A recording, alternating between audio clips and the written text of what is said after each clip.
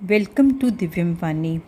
immediate next आपकी love life में क्या होने वाला है, चलिए देखते हैं। हम सब जानना चाहते हैं कि कल क्या होने वाला है हमारे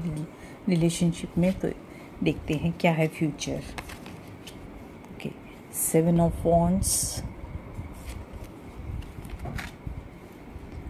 and eight of swords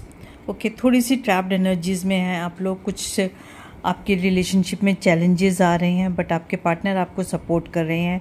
fight कर रहे हैं, कोई भी चैलेंज है, कोई भी ब्लॉकेजेस हैं, कोई भी डिफ़िकल्टीज़ हैं, उन सब के लिए फ़ाइट कर रहे हैं बट अदरवाइज़ ऑल्सो थोड़ी सी ट्रैप्ड एनर्जीज़ में, थोड़ी सी आउट ऑफ़ बॉक्स नहीं सोच पा रहे कि कैसे फेस करना है गिव अप नहीं करा उन्होंने फाइट कर रहे हैं कि क्या करें इसको आगे कैसे, कि इस रिलेशनशिप को फ्यूचर में आगे कैसे आगे बढ़ाएँ। आप लोगों के लिए रोमांस एंजल से मैसेज आ रहा है। This could be the one you have already met the romantic partner you seek तो क्योंकि वो आपको अपना रोमांटिक पार्टनर समझते हैं समझते हैं कि आपका जो ये बॉन्डिंग है,